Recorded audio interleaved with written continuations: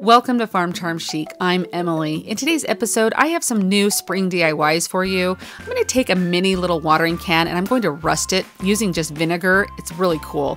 I also have this darling little bird that I found at the thrift store that I give a makeover to to match my home decor. He turns out really cute. And this DIY quite possibly is one of the biggest failed DIYs I probably ever had on my channel. I'm anxious to know what you guys think because I do try and save it in the end, but you'll just have to see. I make this really cute topiary today using napkin rings that I found at the craft store. It's kind of a fun little project and there's so many different ways that you can use this when it's done. So stay with me and let's craft together as we make some beautiful spring DIYs. If you like crafting, DIYs, dupes, hacks, thrift flips, or just creating in general, I would love if you would consider subscribing. If you do like any of the projects today, remember to hit that thumbs up. But let's go make some DIYs. I picked this darling little yellow bird up at a thrift store, and honestly, I don't remember paying $8 for it. It must have been a half off day because I really don't think I would have paid $8. Maybe I did. Anyhow, we're going to make him match my decor because I don't have anything this bright yellow. This is a really bright yellow, even brighter than what it's showing on camera here. And it's so nice to be able to pick up pieces that you love the shape of and be able to change them to match your decor. Of course, it's always convenient if you find the piece it's already your color. And I know somebody's going to comment and say, say, oh, why did you paint that yellow bird? He was adorable. He is, but it's going to look really weird in my house with just one yellow bird. So I'm just painting him to match the decor, and I do that with just some white chalk paint.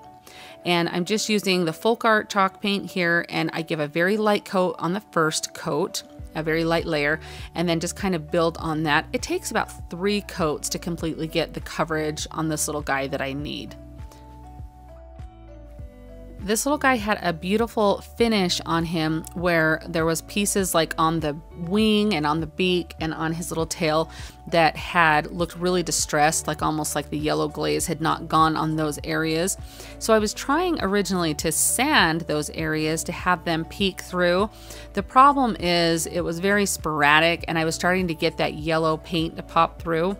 So it takes me just a minute to figure this out and I keep sanding because I'm like, I just don't know what really to do and I was going to wait and see what it looked like in the end. So stick with me because there's a little process here that I go through to get this to how I like him in the end.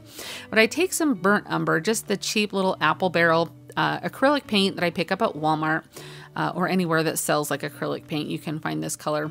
And I just am kind of lightly going over those raised areas. So where all that detail is on his tail and his wing, I'm just going over that with kind of a dry brush, a little heavier. You can see I'll swirl it in the paint and then kind of swirl it off the brush so it's not super heavy. And then I just kind of go over all those. And I'm going to go back over them with some white paint. So I'm not super worried about it being like the way that it looks right now. Because if you look at it, you're going, that's hideous. There's a lot of paint there. So just kind of watch and see how I do this. And it's kind of a process of going back and forth. But it has such lovely detail on here that I really just wanted to have that enhance that and have that show otherwise it's just going to look like a unfinished like ceramic bird and i did not want that so I'm going over lightly, just dry brushing with the white to go over those little raised areas. And you can see it's just going over that brown and it, it covers it, but it still pops through because it's such a light coat, but it just tones it down and makes it have that really rustic look. And I liked the way that it was looking, so I got my brown paintbrush here and I even go over his little face because the details in the eyes were there and I just wanted it all to kind of pop. And you can see I just go right back over that with some white to tone it down. And that way it just makes all of those little raised areas and that detail, like that's what's so fun about these pieces is to have that pop.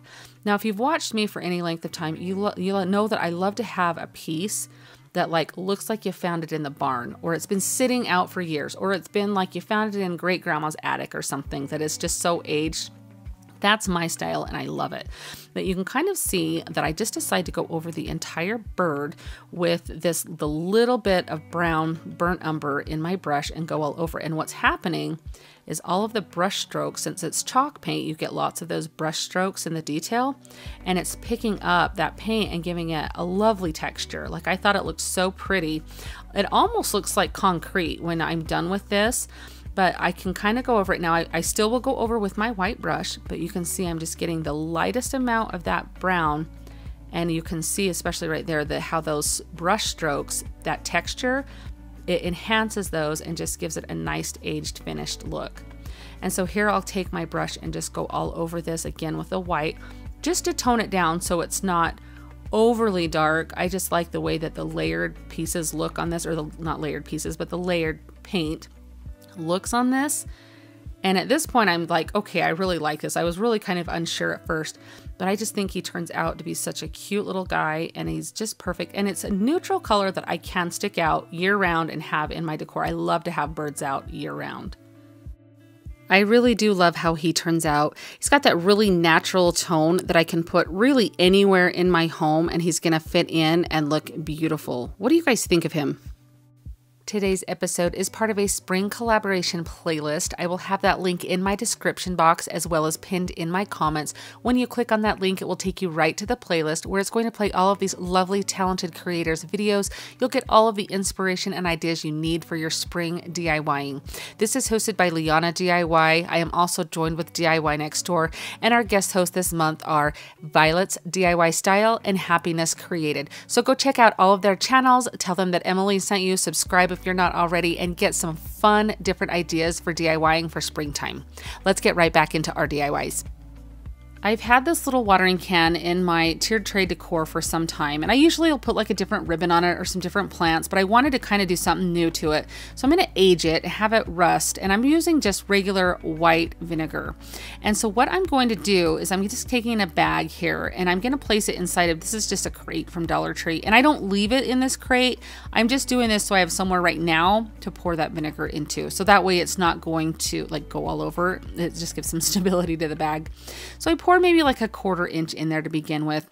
And I just set that watering can in there.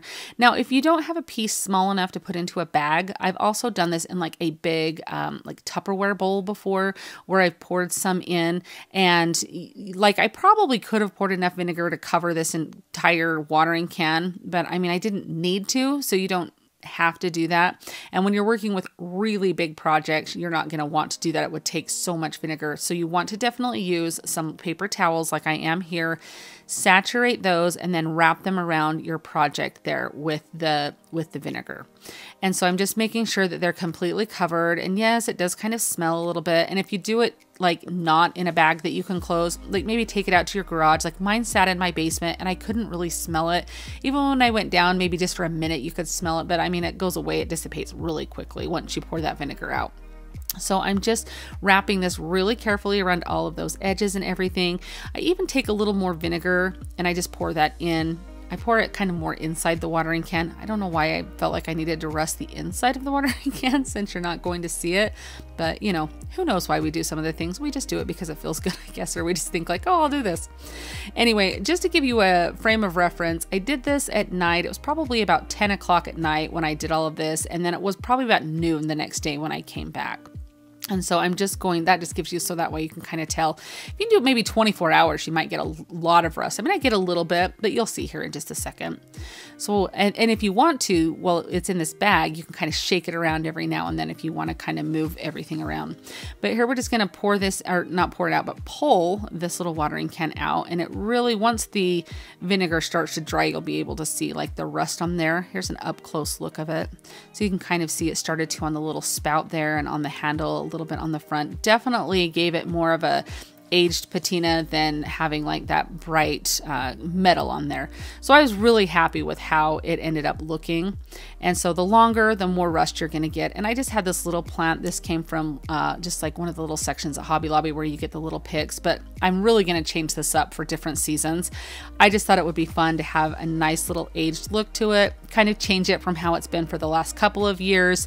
And I really think it turned out cute. Have you guys ever tried aging anything with vinegar before? I'd love to know how it for you. This was a really fun project and I love how it turns out. This is just a votive holder from Dollar Tree. And then these are some napkin rings that you can get at Hobby Lobby. These were from last year, springtime 2023, but honestly, they have them almost year round, I think, in their napkin section there. And just I'm taking some old styrofoam and then a stick from my yard And I'm going to make a cute little topiary here. This is going to be so cute for like a tiered tray, uh, even if you did like a fairy garden or something indoors. I mean, there's so many different ways that you could use this. But I'm just removing the tags from those napkin rings because we don't need those. And then I went ahead and cut this uh, stick down to be a little bit smaller. If you don't have some sticks in your yard or anything like that, use the end of one of those sponge tool brushes when you're done with it.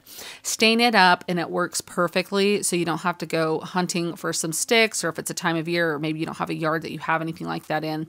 There's definitely ways around that, even just a dowel or like a plunger handle, something like that. So I went ahead and you saw that I pressed that votive holder down on that styrofoam to kind of make a template there. And I just used my putty knife there to cut this off and then I just get it to size. Now I move this out. I probably should have stuck the glue in there first before I did all this, but it worked out. So you do want that styrofoam glued down there. That is key because you don't want this falling out of this little, this is your like planter pot that the topiary is growing out of. So I just kind of punched a little hole with my stick here and just centered it the best I could. If you like to measure, definitely do that. I just kind of eyeballed it. It's styrofoam. You can kind of bend it in which way you need. But after I kind of poked that down in, I'm just using some hot glue, pretty liberal amount, and then I'm just going to place this down in. Now this project does take a lot of like, okay, now I'm going to sit and hold this until it dries. And so I put some around the outside of the stick here. This is going to give it a little bit more support. And then just make sure that that dries thoroughly before you start working with the stick. Now I take another piece of this styrofoam and I just put it in the center of this napkin ring. There's a nice little like literal ring in the center of this that you can kind of push that styrofoam into. And then I just went with my hot glue gun and glued around the edges so that styrofoam was secure in there. So that's what's going to give you because the napkin ring is a lot wider than my stick that I'm putting this on. So you just need something there to kind of give you a little more stability when you put this on. And this is one of the parts that you just want to make sure that that dries completely before you move on to the next step, which right here, I'm just going to push that styrofoam over that stick, just very gently. And what's going to happen when you push this down is it's going to push up like you'll see here that I'll have that little piece of styrofoam there that I took off from where the hole was, um, where the hole was made there. And then I just gently slide this down and then I'm just gonna, there's the little piece of styrofoam right there. and then uh, I take my hot glue and do use a, lib a, liberal amount of hot glue. And I'm going to, I glue around the bottom of this. And then I think I go back in and glue around the top. I just don't want this going anywhere. And you just want to scoot this down your stick to not quite the very bottom because you want to be able to see a little of the trunk of that topiary and then you just i just sat and held it like this for maybe like three minutes or something just to let it that glue dry and that way you've got a firm hold and that little part of your topiary is not going to go anywhere. Now for the top, it kind of took me a little bit of imagination to think of how I wanted to do this. This is just one of those moss covered styrofoam stones that you get uh, at the craft store. I've got a bag of these at Dollar Tree uh, and I just kind of punched, you can see I'm just using my pencil to like dig out a little bit of a crevice there so I can put that onto my stick.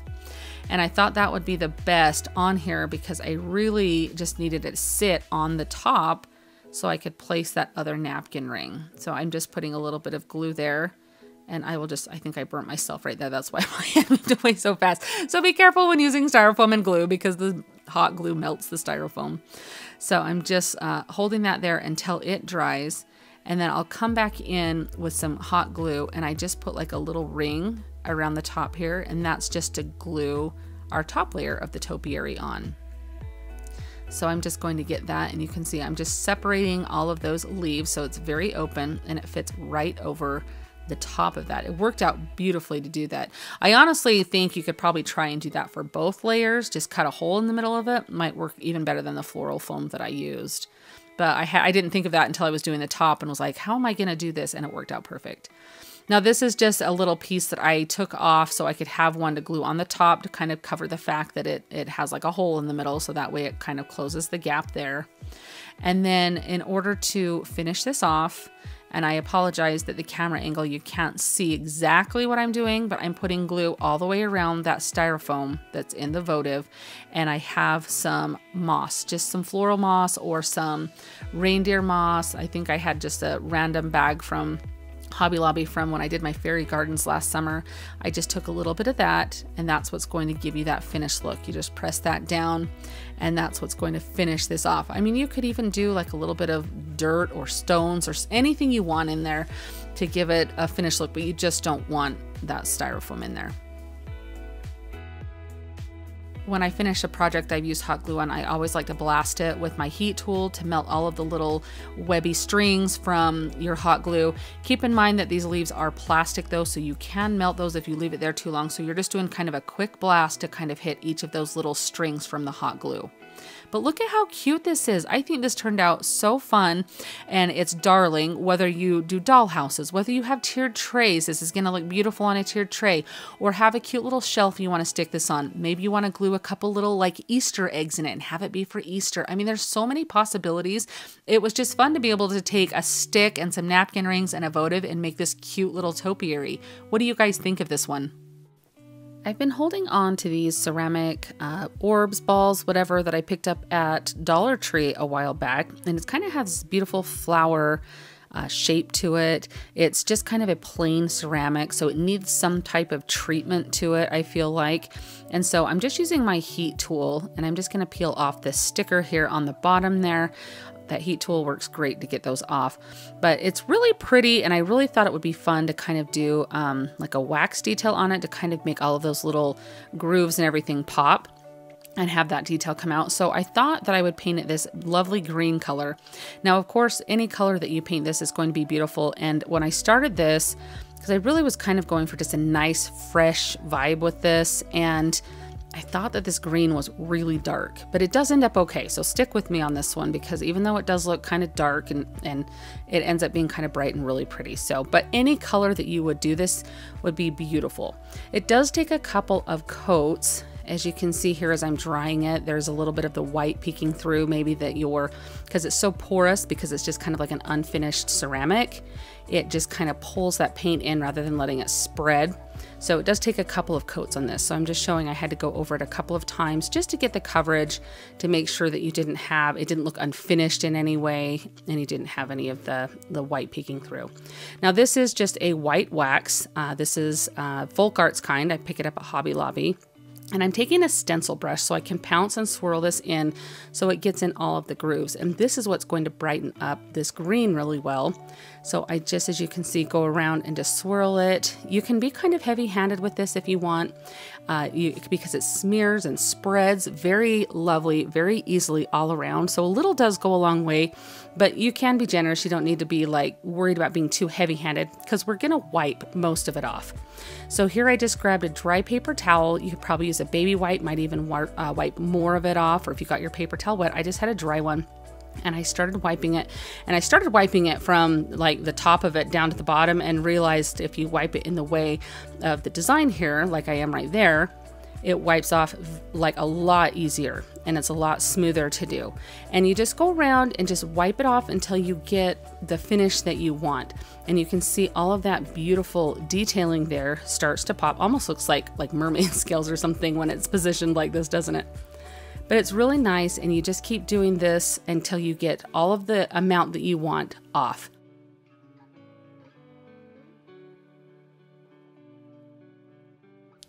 Now you can see how clean and crisp this is looking. It's starting to show those little details and that embellishment so beautifully. And if you get to this point and you think like I've wiped too, um, it too much, you can put a little bit more wax on. Or if the opposite, like here, I decided I wanted the green to pop a little bit more on those raised areas. So I just took the rest of the green that was left in my brush and I'm just going over some of the areas. And that's just going to enhance that original green color we put on there. It's just going to enhance that and make that white pop even more. So that's a great detail if you did get a little too heavy heavy-handed, there's ways to fix it, and this is one of them, so it's, it's a great tip to use. I can't believe that for $1.25 and some paint and a little bit of wax, I get this beautiful orb to use in my decor. You would pay upwards of 10 plus dollars for these if you were to buy them at a store already completed. I really love how you can see all of that detail from the wax up close here. I think it turned out really beautiful and that detail is really so fun to see up close like this. This is one of those pieces that is so fun to have and is really a staple because you can use it in tiered trays, anywhere that you need a pop of color. And that's what's so fun is you can paint them different colors and have them for different seasons if you would like. So when you find these at Dollar Tree, grab a couple. I almost didn't put this DIY in, and you'll see why in just a moment, but I thought I would show you uh, how you can take something that maybe you really don't like or you mess up and how you can kind of embrace it and make it look okay.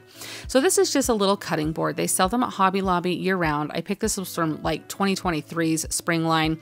I buy them when they're like half off or even 70% off, so you're only paying a couple of dollars for them. And they're so fun to use in tiered tray decor and different uh, things like um, just to have like in a shelf in a kitchen or something. But I have these rub on transfers. These came from Essential Stencils and they're beautiful transfers. And I'm so, you guys, I kind of really botched this uh, transfer here and I'm so sad about it because it is such a beautiful transfer and you'll see exactly what I mean here. So right now I'm just picking the side of the cutting board that I want and there's this little like almost chip in there, like this little crack and I loved the way that looked so I made that the front. And on these, uh, just work like any rub-on transfers that you've seen before. They're a little bit sticky on the back there, so you don't want to like touch your finger on there and peel it up. But you want to center it on your design where you're putting it, or your surface where you're putting it. And you can see I'm just going to center this and then you just kind of rub it all the way down to kind of make it stick so that way you can start to transfer it and watch what happens here like the fir- like the first swipe that I do of doing this it bent the paper back and I peeled or like ripped my transfer. So I literally sat there and, and maybe cried a couple minutes over it. Not really, but maybe I did. but I decided I'm going to keep going and just see what it looks like. Maybe I can make it look like really distressed or something, which is what I end up doing because sometimes when this happens, I mean, there was no coming back from that.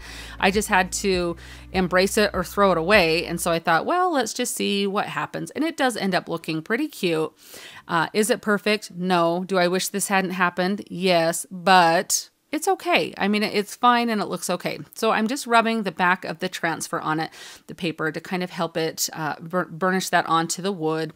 And then I take my fingernail file and I'm really going to rough this up because I'm trying to make this look now like it's something that's been sitting around in grandma's kitchen for years or something. And that design has just faded or chipped over time. And so you can see that I get pretty heavy handed with the way that I'm sanding because that's a pretty big botch up at the top there that I did. I still look at it and it makes me really mad and, and sad. But I mean, it ends up cute. You'll have to let me know if you guys have ever done this with the rub-on transfers and uh, what you did about it or if you just kind of embraced it. But I just kept sanding it and I was like, well, it looks it looks pretty good. I mean, these actually age pretty well. Like you can age them and make them look distressed really good. Like it's just an old label that had been sitting on this little cutting board for decades. So, so it's kind of fun that, you know, you can take something that you've ruined like this and still make it look look all right and intentional, right? Because we all know that was definitely not intentional. So again, after I sanded, it kind of had a little bit of a sticky feeling to it because that adhesive on the back. So I just rubbed it down with that uh, transfer paper that it came on it again. And then I sprayed it with a little bit of water to kind of get all of the little dust particles and stuff up there and just gently wipe that off. I was very careful going over this design because that's all I needed was the water to start to peel that up. Now you can go over this with some decoupage. Um, you can do some like food safe decoupage. You can do hard coat satin, whatever whatever kind that you want to on there. I um, I just left it because I'm not going to be using it for any type of like a coaster or anything like that. It's probably just going to go on a tiered tray that I'm going to put together or just like in my shelf on my kitchen. Just a fun, cute little thing. These are also really fun gifts to tie on to like like if you're giving it Christmas time or Mother's Day or something or a birthday present or just a gift for a friend. These are kind of fun to tie on to something a little extra. You know how sometimes people will tie like little teeny whisks on things or some cookie cutters. Like these little cutting boards are perfect to have for those just to add just a little something, especially if you personalize it. Maybe you wouldn't give this one out with what I did. but but you get the gist, you get the idea. Now I tied some jute twine on here, some thick on there to kind of make it look like it's what it would hang from. And if you spray this with some water and stretch it out and let that dry, it's gonna take all of that like curl or kink that's in there out of that jute twine and look, I mean, this looks really beautiful. Again, is it perfect? No. Do I wish this hadn't have happened? Absolutely. But I think I took something that was maybe destined for the trash after that moment and made it look intentional and look pretty. And I'm sure that in somebody's rustic kitchen, I mean, my kitchen has some pretty rustic things in it, it's going to look beautiful. I would love to know what you guys think of this. Would you have just scrapped it or would you have kept going on?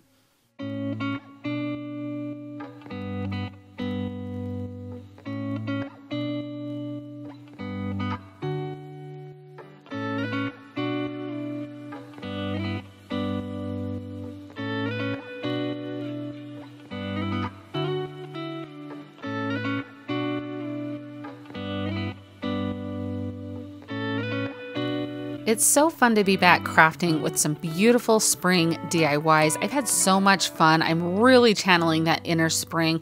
I would love to know what temperature you're currently sitting at. I think today I'm sitting at about 30 degrees, which is actually kind of warm for how it's been for the last few days, but man, I really wish spring would get here. So let me know down in the comments what temperature you're sitting at today. I would love to know. Maybe some of you guys, if you have some warm weather, can send some of it my way. I would really appreciate that. I guess for now, I'll just have to settle for some spring DIYs to keep channeling that. You guys, thank you so much for joining me today. Remember to click that link down in my description box as well as pinned in my comments to see the playlist and all the other beautiful DIYs that the other creators have made for you. You're going to get so much fun inspiration, and before you know it, spring's going to be here. So let, us pass the time by watching some fun spring DIYs, right? Thanks so much for watching today, you guys. I'll see you next time. Happy crafting! If you like the video that you just saw and you want to keep crafting together, here's another video that you might enjoy. And as always, remember to like and subscribe. Thanks so much for watching. I'll see you next time.